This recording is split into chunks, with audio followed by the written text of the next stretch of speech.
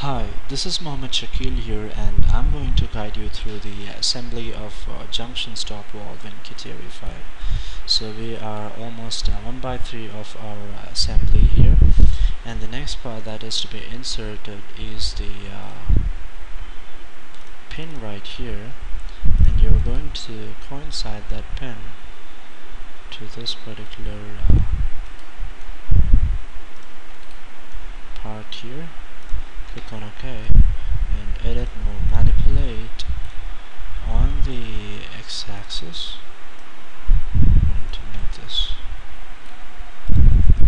So our body is being hidden over here and once you unhide the body you can see that uh, you know you won't be able to make out where the object is. That is the reason the body is hidden while the assembly uh, assembly design is in progress so once you're done with this you can hide the body and you can see what else you can insert on top of this. So you have another uh, insertion of another part here that is the cover. And the cover you're going to coincide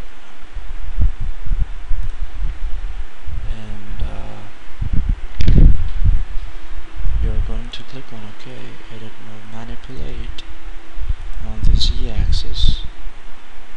We're going to move this cover. And you're going to click on OK. Insert coincidence. You're going to do a coincidence for this. And uh, once you're done with that you need to use the contact constraint for this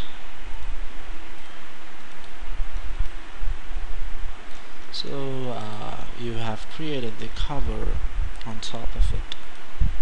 And the next work is going to be uh, insertion of your nut and the bolt on all these places. So you're going to insert circular pattern uh, the reuse pattern of the circular pattern that was used for the creation of this cover.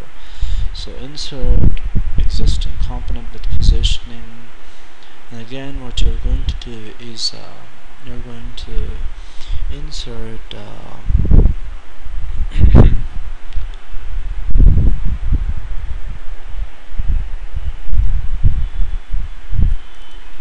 hexagonal bolt so show any one of the uh, uh, okay. Once you're done with that edit move manipulate on the z-axis pull it down. And uh, then what you're going to do is uh, insert contact constraint. And uh, update this mechanism and uh, you're uh, half away of this. And you need to insert two nuts on this. One is the lock nut and one is the normal nut so you're going to insert existing component with positioning. You have the washer first. So the washer goes first.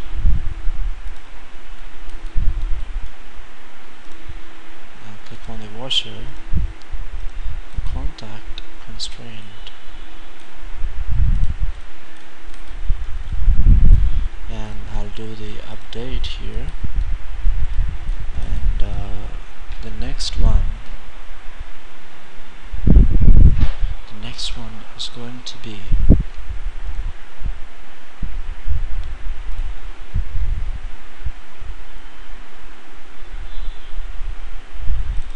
the hexagonal nut.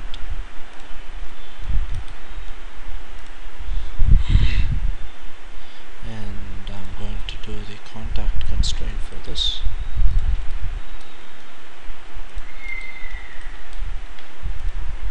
do the update. And on that I'm going to insert the hexagonal lock nut.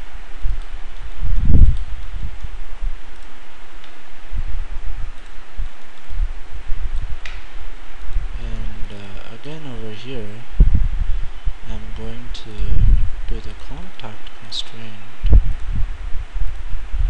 We'll do the update as you can see this particular part is being complete here. And now your next next task is uh, the insertion and uh, you're going to use the reuse pattern. Take the bolt and uh, hover your mouse over here so that you can see which is the part where you need to find the circular pattern for. Select the circular pattern and just click on OK and our uh, assembly is automatically done for all these parts. So again select the next one use pattern and uh, select the circular pattern. Click on OK. And select the next one use pattern. Select the uh, circular pattern click on OK and our uh, much of our half of our assembly is almost complete here. So keep watching to uh, complete the whole design of our uh, junction stop valve in CATIA V5 so I hope you enjoyed my video. Any doubts any clarifications you have you, have you can uh, directly mail me by uh, shaxkatiav5online at gmail.com or put me a mail on uh, uh, YouTube uh, so that I'll be re uh, returning replying back to you so thank you so much for watching